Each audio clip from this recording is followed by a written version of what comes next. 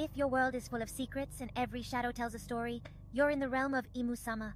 In the heart of the Grand Line, whispers about Imusama stir like a storm.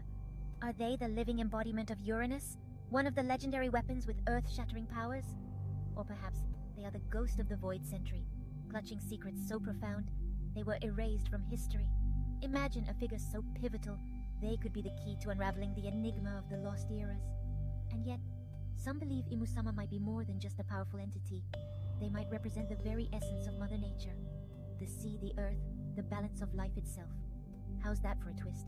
The ultimate ruler, not just over lands and seas, but over the natural order itself. As the Gorosei bow in their shadow, we're left piecing together the clues.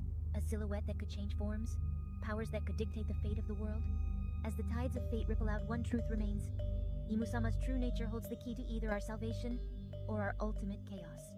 Stay tuned, fellow pirates. The grand reveal of Imusama is bound to shake the very foundations of our world.